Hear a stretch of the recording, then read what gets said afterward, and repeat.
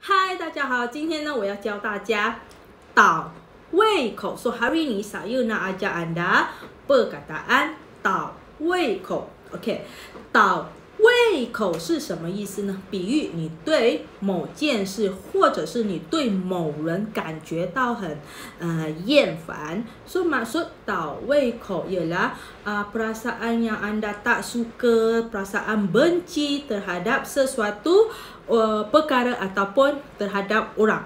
Okey, tau wei ko. Okey, so kita ada wei ko. Wei ko ni maksudnya ialah selera.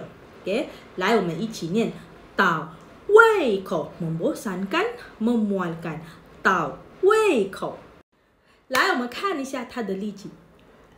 我看到它就倒胃口啊！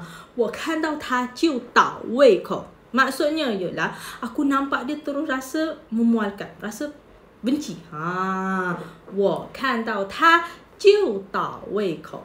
我看到他就倒胃口。So kita ada 我 saya 看到 number，他 dia 倒胃口。抵达梦念里的干，梦摸干或者是有那种厌烦的感觉啊，说我看到他就倒胃口